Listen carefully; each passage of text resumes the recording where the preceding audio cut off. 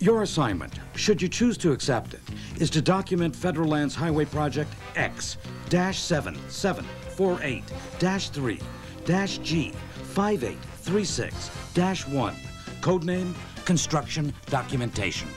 You'll find further instructions in the main file. Before starting your assignment, it is imperative that you view the classified information contained in this videotape. Your predecessor failed and currently paves dog runs in the desert. Don't let us down.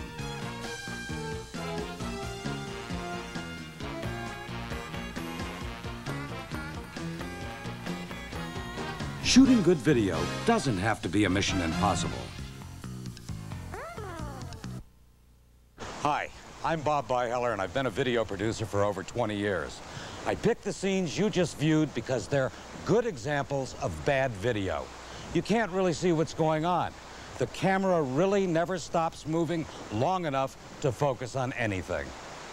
Here we see where someone spent hours videotaping construction, and the result was very little of it was usable. Also, there will never be another chance to document this event. The video you shoot on a project is used in a variety of ways. Most importantly, it's used to document the when and where of daily construction activities. It can also be used to settle disputes between us and a contractor. This means it must be good enough to serve as evidence in court. It could also be used for in-house training and could ultimately be part of a video seen by the public. This video will show you what good video documentation should look like and give you some ideas on how to get the job done. Before you begin, always check your equipment. Fresh batteries, make sure they are recharged each day. Sufficient videotape? This is also a good time to remember to label the tape. Is your lens clean? Before you shoot, clean your lens with soft paper or cloth.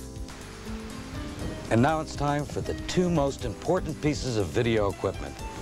Your tripod and the camcorder. Always use them together. It's one of two rules for getting good video. As steady as you think you can hold a camera, when compared to the tripod, your video will look like an earthquake just hit. The second rule is never zoom or pan. Static shots are easier to shoot and much easier to watch. Now why don't we go out to the construction site?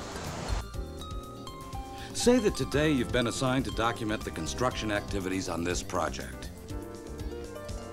The first thing you'll need to do is find the best place to shoot your video. Make sure it's a place where you won't be aiming the camera into the sun. Also, nothing should block your view of the activity you're going to shoot. Now you're ready to tape. With your camera on the tripod, check your camera controls. Generally, leave your camera's white balance, exposure, and focus in the automatic mode. At the beginning of each scene, say where and what you are taping. It's a concrete pour, east abutment on the Pine Creek Bridge. And make sure to shoot each scene with the time and date for legal purposes. Of course, all our video needs are not for settling disputes. Documenting some activities without the time and date is greatly appreciated. Let each shot run for at least 30 seconds. There are three basic video shots that can be used to properly document an activity. A wide shot, a medium shot, and a close-up. One of the most used shots is a static wide shot. With this shot, you are trying to show the entire activity being documented. Use the zoom control to set the camera for the widest shot. Then pan left and right until it is correctly framed. In other words, you see just the things you want to see. In a wide shot, that means you can see all phases of the work in relation to each other. Remember, what you see in the viewfinder is what you get. Notice what happens when too much sky is in the picture. The camera adjusts automatically to that bright part of the picture, making everything else too dark. But by moving the camera so we see very little of the sky, the rest of the picture lightens and can be seen. Next, you might want to get medium shots of individual pieces of equipment working. A medium shot isolates individual activities. By panning and using the zoom control, you can arrange your shot. Not too close, but not back too far either. Just right. Then if necessary, you'll want a close-up shot of the work. A close-up shot shows the work in great detail. Again, don't forget to tape each of these activities with the time and date. Many times you'll find that you can't take all the video you need from one position. Move to as many locations as needed to complete the documentation. When a tripod is unavailable, find something solid to set your camera on, like the hood of your car, a tree stump, or even a piece of construction equipment. By using a piece of clothing, you can easily aim the camera at your subject. If you must handhold your camera, make sure your weight is evenly placed over your feet. Keep your elbows close to your sides. If possible, find something solid to lean against. Never zoom in for a close-up shot when you handhold your camera.